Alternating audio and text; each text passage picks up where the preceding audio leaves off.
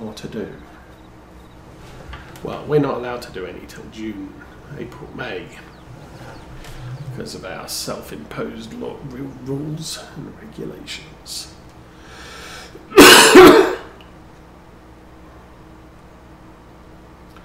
That's fine.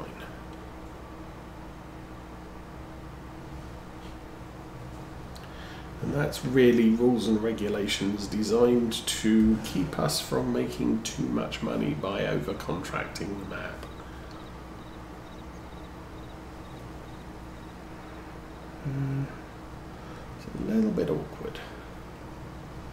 I could adjust the uh, the GPS track here. Mm. Maybe I will.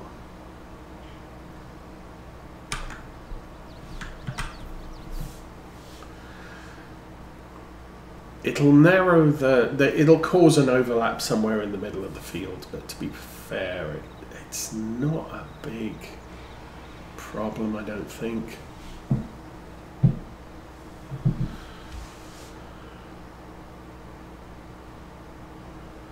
Forty-one percent complete. Um, we're not even halfway round. Well, we're a little more than halfway round.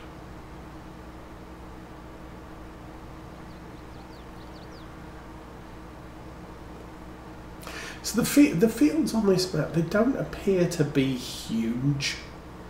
Um, having the Lexion would not necessarily make things any easier. Partly because the Lexion is just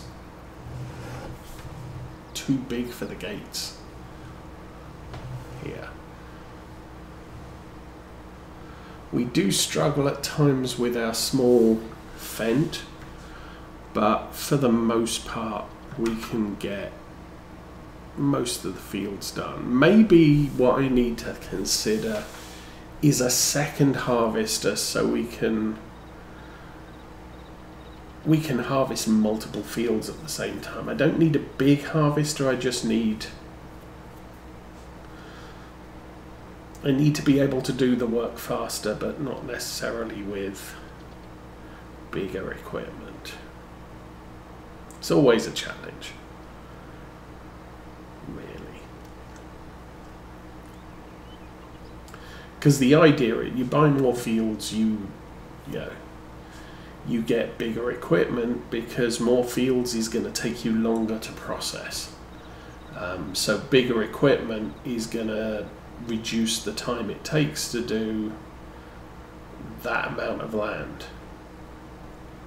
But you do hit a point where your the equipment you're looking at is just unfeasibly large for the fields that you're on but you do have a lot of fields. One way you could do it on this map, of course, is to buy adjacent fields and then chop down hedgerows because that would then allow you to um,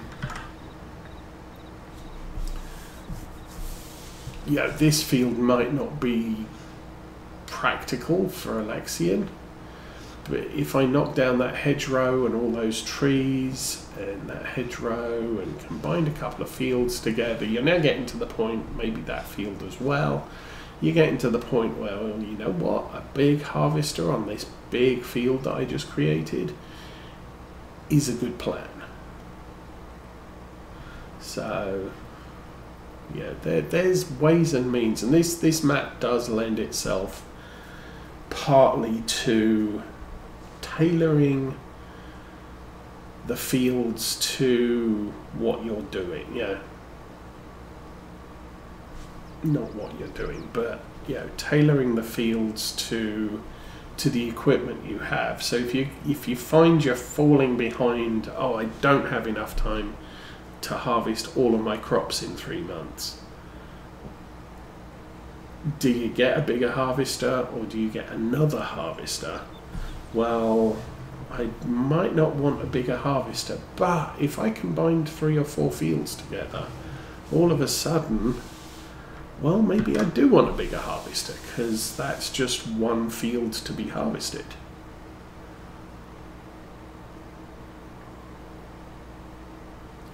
We've already done a little bit of field sculpting. We chopped down some trees, I think, two winters ago.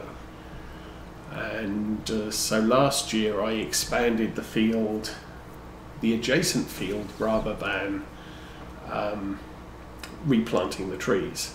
The trees were in an awkward spot. You had to drive through the field to get to the trees. So, in essence, I would want to plant a spring crop in that field so I wasn't driving forestry equipment over a seeded um, patch of ground.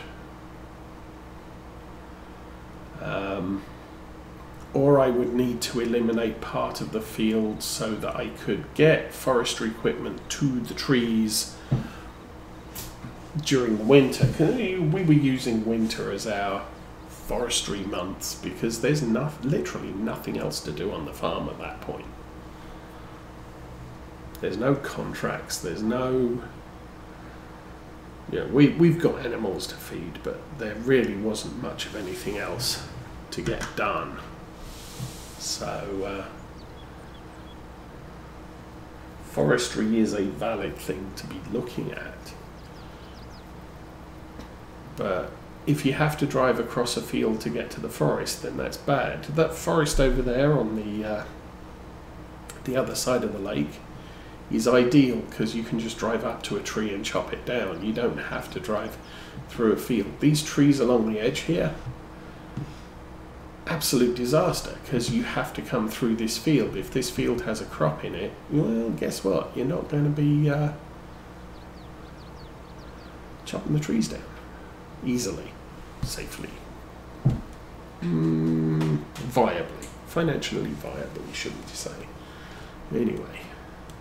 Come on, tell me I'm done. Thank you. Okay, that's another field done. Saving content, please wait. Uh, oh, actually that's two done. Well, somebody didn't get paid. That would be me. So next one is field 9, which I believe is somewhere. So we are here. If we go back up that path, round there, across there, I think the access is there. Once we've done that, we go down to here. I think we hook round that field, we can get to there. Okay, that looks like the place to go. Let's uh, go drive. Ah. GPS did not disengage. Nearly had a meeting with the hedge, which probably not a good plan. But yeah, lots of really nice fields around here. And opportunity to knock the, you know, resculpt them into each other. Which I think is, you know, something that you could benefit from. I don't think our farm is that well set up. We do have one big field. Well, we actually we have three big fields along the edge of the map. The issue with them is two of them are silty clay, so complete garbage for growing much of anything.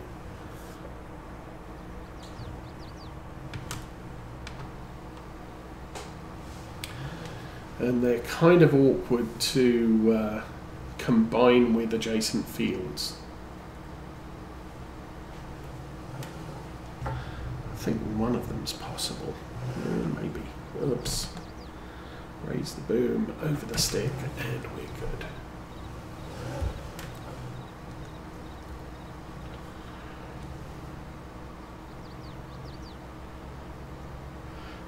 This field's already been done once, so won't come up again. Shouldn't come up again. I'm not 100% sure that these contracts are remembering the fertilizer level on some of these fields because these are all done you look around here every single field is double fertilized we're just finishing off the last one in the area um, which means that we're using up available fertilization contracts. There won't be many more. Now, some of those I think I lost um, in March just because uh, they all just vanished. Now that we've got lazy, lazy uh, farmers on turned on for fertilization contracts, they will remain. Now, the issue there is is the fields. If I don't fertilize them, the fields won't get fertilized which may affect the the yield. We should still get if we do a harvesting contract on one of them um, that hasn't been fully fertilized. We probably will get um, a good, you know, good enough yield to complete the contract, but the surplus may not be significant.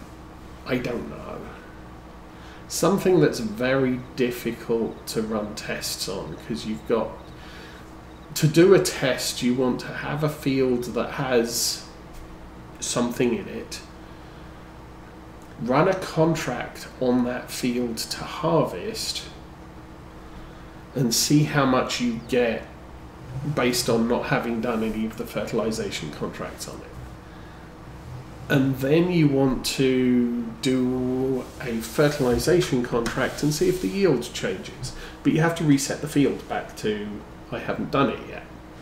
So it, it's not an easy test, I don't think, to set up. It could be done. I'm guessing you could possibly do it with the um, easy development tools by just, okay, I'll harvest this field, I'll set us back to March, I'll plant the field um, as a contract. I'll fertilize the field as contracts and then we'll see where we get to.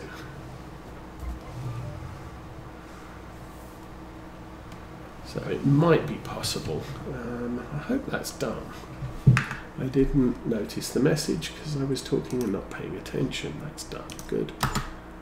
Okay, so now have to do 34. I'm going to turn the lines off for a minute. So twenty-five thousand money. I don't have any debt. We did we did borrow money to plough into the power upgrade on the John Deere. Um, I have been slowly doing just enough contracts to um, get that. I wonder if, excuse me a minute, test for science. If I expand the arms here, It does not tell me if this field has been sufficiently fertilized. It doesn't give me any update. If I'm on a field that has a contract, it will show me the blue and I'll be able to see what level of fertilization the field has, but it will also show me the level of fertilization on the surrounding fields that are within the minimap.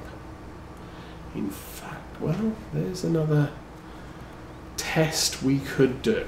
So I am going to get to field 34, extend the arms, and then I'm going to change the map view. How am I doing? Still 300 litres of fertilizer before we are down to our last 2,000 litres. Okay, which way? Turn right. And turn left. This one here. Looks to be ours. Let's turn GPS back on. Um, I should... Oh, that's awkward. This edge is angled. But if I expand those, the boom, there we go. Now, let us change the map. So we can now actually see what fields are fertilized, what aren't. Obvious, why do we see it? We see our fields as well. So 52 is partly fertilized. That's, oh, that's our grass field, which I said we do need to spray. Um, 51 has something in. 54 and 62 have soybeans in. We haven't fertilised them at all. because um, they don't need it. This is, this is all very interesting. So none of the grass fields have been fertilized. None of the third, know, the the dudes, um, the NPC farmers, grass fields have been fertilized. But a lot of the fields have been double fertilized here, so we can actually see what fields have been fertilized. So that's good to know if we ever decide we want to do the does fertilization make a difference to uh, contract yield testing. I don't know if I'm going to bother, but yeah, it's a thing I could do. So good job I bought the fertilizer because I do want to go and spray our um, grass field because it is deficient, very deficient, super deficient. Has very, very, very little in the way of nitrogen, and it would be nice to uh, maintain the yield and the environmental score on it. I didn't look at what environmental score we're getting for that grass field. It shouldn't have taken too much of a hit because all of the treatment needed on it was good enough and things like nitrogen and pH are updated when you harvest which for a grass field is cut the grass.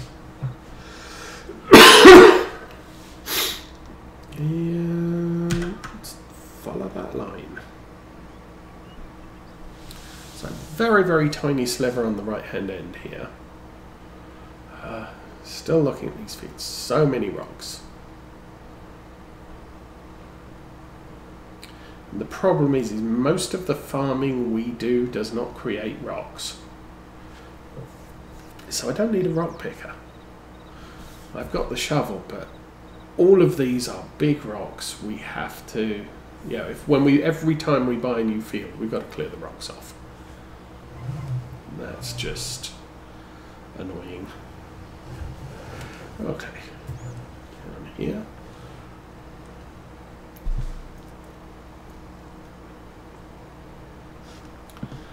Um, what I might do is take this row. Yes. Yeah. That's weird.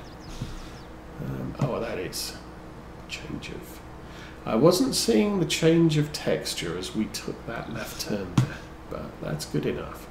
So I'm not going to worry about that wedge until the last thing. We do uh, 120, 115 litres of stuff before we cut into that IBC that we bought.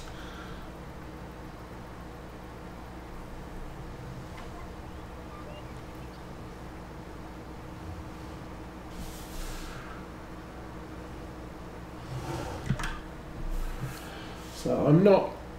I don't expect us to use an awful lot on the grass. Grass is not a high nitrogen demanding crop. Plus, we have the crop sensors, which I will remember to turn on when we get there. I hope.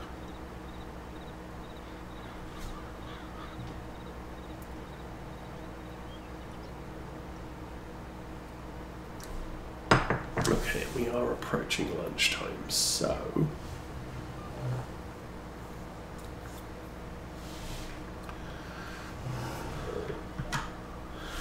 We will probably complete the stream once all the spraying is done on our grass field. 76. Good. See, I noticed the message. I think the problem is, is I notice the white messages. I don't notice the green ones.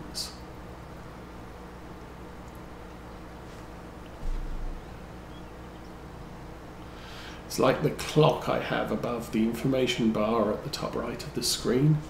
It took me ages to find a colour that kind of contrasts with almost everything that uh, can be displayed up there. Oops. Part of the problem I've had is it, you, you can have it on the sky, So picking a blue can be a problem. Picking a white can be a problem because the sky is, you know, because of clouds. But then when you come down to field level and tree level, um, you know, I'll, I'll pick green because of sky. It's a good contrast against sky. It's not a good contrast against fields. The orange kind of works. Um, now, on previous versions of Farm Sim, I think you could bold it, and that does make a difference. I think the problem I have with it at the moment is it's not bold, so it's a little bit difficult to see what's happening. Okay, active contract is 96%. There's three more fertilization contracts. I'm not going to take them now. Um, although we are, as far as the game day is concerned, we are just coming up to lunchtime. So I've still got the afternoon to do more contracts. We did the soybeans, they're good. Um, I can't spray them for weeds. Well, I'm not going to spray them for weeds until they are um, the weeds appear.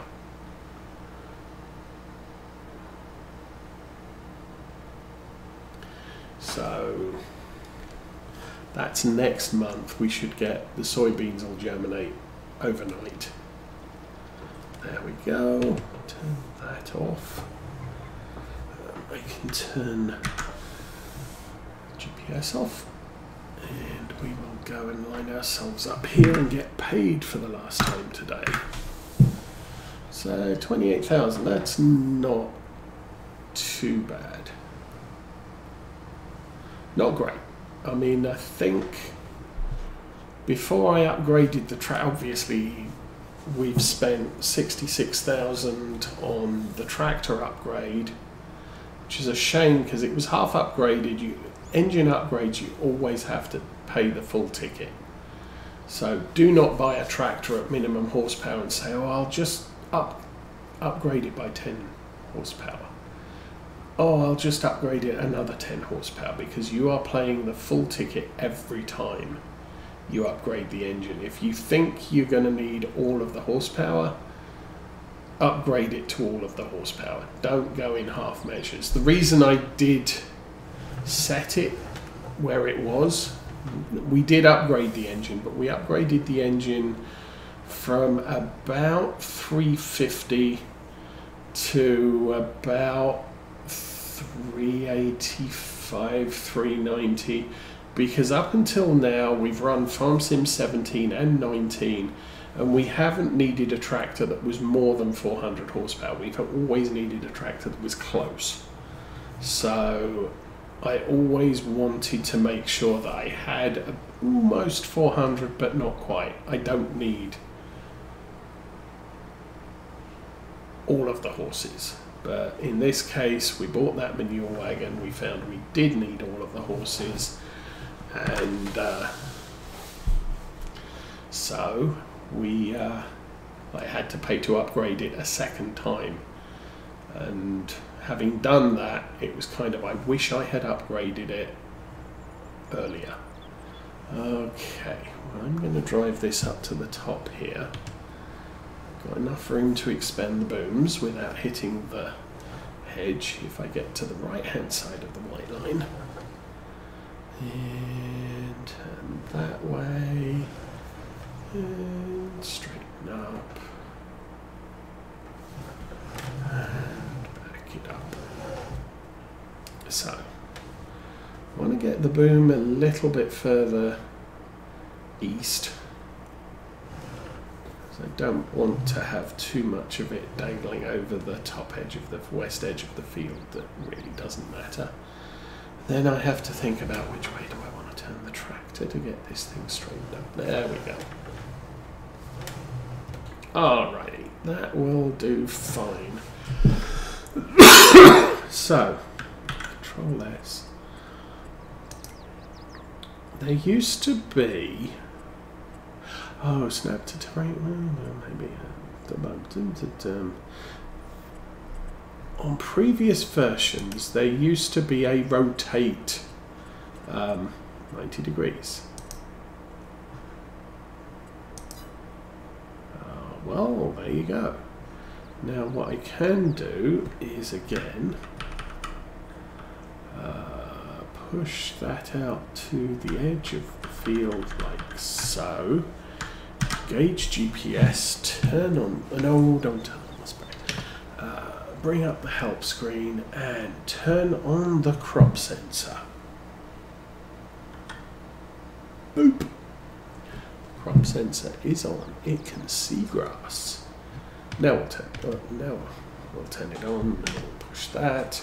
Now we'll go. Whoops. Drive, and we'll go forwards, and we should get a nice orange colour out the back. Hello, nice orange colour.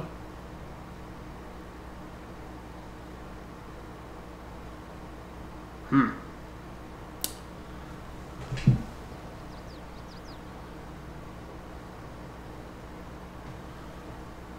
It doesn't seem to be using up. What? Okay, automatic application, yes. Um,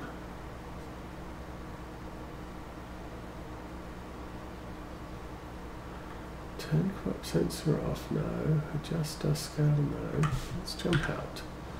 Um, nitrogen level bad. Nitrogen level bad. This is so weird. Jump in the tractor. Okay, let's fold up the boom. Is this going to be something I have to reset the game for? Stupid thing. Unfold the boom. Make sure the crop sensor is on. Um, turn off crop sensor. So crop sensor is on. Work with is fine. Nitrogen reference value.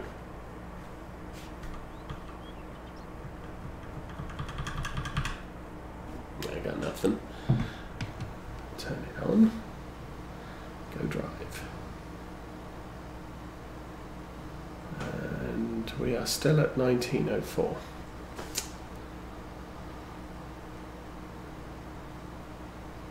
Weird.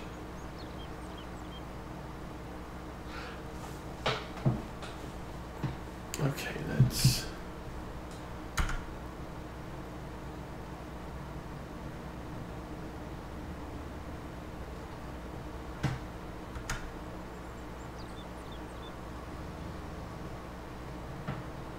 It's not spraying anything. That is so weird. Deactivate. 12 litres per hectare. I don't even know what grass needs. Okay, well, I guess I'm going to call it here. I'm going to exit the game, reload it, and see if I can get this darn thing working. But I think we've probably done enough fertilization for the day on camera. So, I have the rest of April, I have nothing useful to do on the farm. Um, I do need to be concerned about the food levels and the uh, cow shed, but that's the rest of April. Um, rest of April, let's check cow shed food. We're about 50%, so that's fine. Um, I'm concerned that the cows have to get up to 100% reproduction before they start producing milk again. And if they don't start producing milk after they've had another 30 babies, we're going to have a problem because our cows are making nothing for us. At which point we may as well go beef and sell them when they're valuable. Anyway, so that's cows. Um, I will make a quick call to the store and see what they've got. Just the big giant harvester. Um, but I think for